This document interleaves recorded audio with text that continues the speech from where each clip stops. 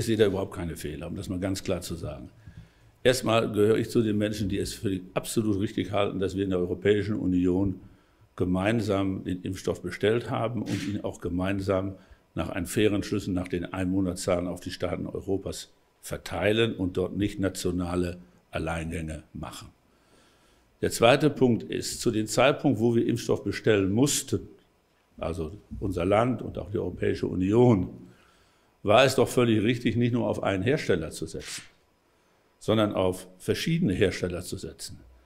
Weil zu dem Zeitpunkt auch keiner wusste, wer ist wann in der Zulassung. Und auch keiner wusste, das Problem, was wir zurzeit haben, ist eher, dass die Produktionskapazitäten äh, nach wie vor begrenzt sind. Und äh, ich habe ja eben gesagt, wir wissen jetzt sehr genau bis in die siebten Kalenderwoche, was wir an Impfstoff von BioNTech geliefert bekommen.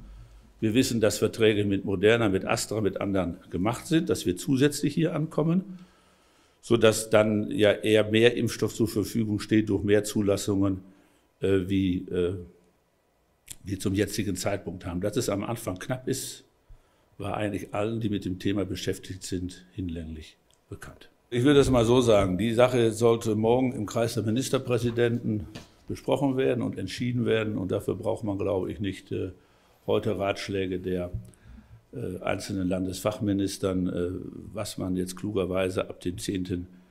Januar macht. Sie brauchen sich ja einfach nur die Infektionszahlen ansehen und einen normalen Menschenverstand haben, dann weiß man, dass für Öffnungen äh, nicht sehr viel Spielraum ist.